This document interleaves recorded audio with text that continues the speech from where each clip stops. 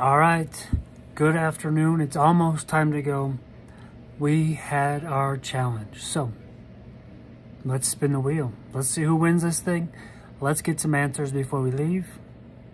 Let's spin that wheel. All right, here we go.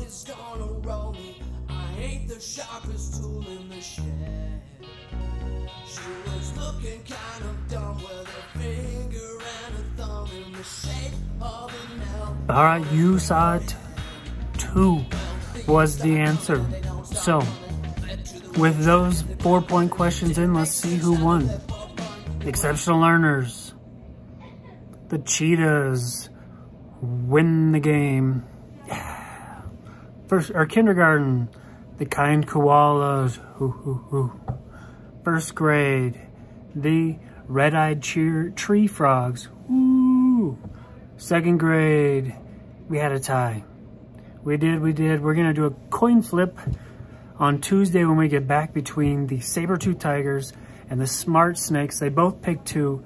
So, coin flip on Tuesday to see who actually wins. Third grade, the tropical turtles. Fourth grade, mighty meerkats. You win. Fifth grade, the Golden Doodles. You take home the championship. And last but not least, coming from behind, the Flying Frogs of Mr. Lester's room. Congratulations. All right, have a good weekend. Winners, we'll get your guys' stuff set up for next week. Um, second grade, we'll coin flip on Tuesday. Have a good weekend. Go Wildcats. Peace.